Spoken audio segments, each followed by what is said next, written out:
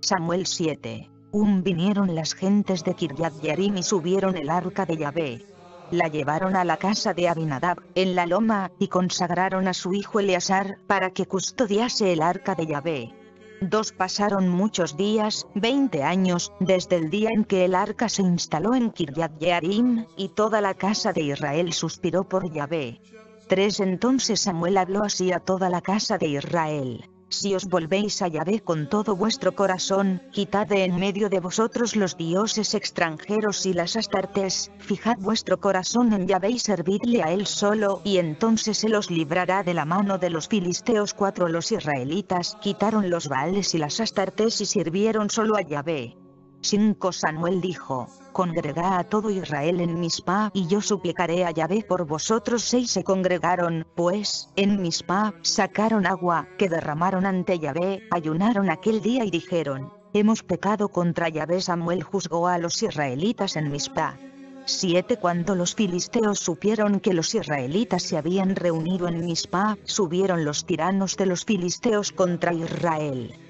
Habiéndolo oído los israelitas, temieron a los filisteos ocho y dijeron los israelitas a Samuel, no dejes de invocar a Yahvé nuestro Dios, para que Él nos salve de la mano de los filisteos 9 Tomó Samuel un cordero lechal y lo ofreció entero en holocausto a Yahvé, invocó a Yahvé en favor de Israel y Yahvé le escuchó.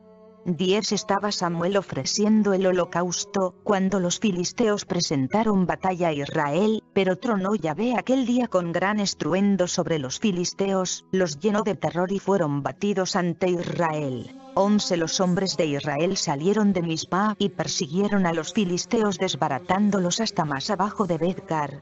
12 Tomó entonces Samuel una piedra y la erigió entre Mispa y Yesanla y le dio el nombre de Eben Esher, diciendo, hasta aquí nos ha socorrido Yahvé 13 Los filisteos fueron humillados. No volvieron más sobre el territorio de Israel y la mano de Yahvé pesó sobre los filisteos durante toda la vida de Samuel. 14 Las ciudades que los filisteos habían tomado a los israelitas fueron devueltas a Israel, desde Gron hasta Gat, liberando Israel su territorio del dominio de los filisteos. Y hubo paz entre Israel y los amorreos. 15 Samuel juzgó a Israel todos los días de su vida. 16 Hacía cada año un recorrido por Betel, Gilgal, Mispa, juzgando a Israel en todos estos lugares. 17 Después se volvía a Rama porque allí tenía su casa, y juzgaba a Israel. Y edificó allí un altar a Yahvé.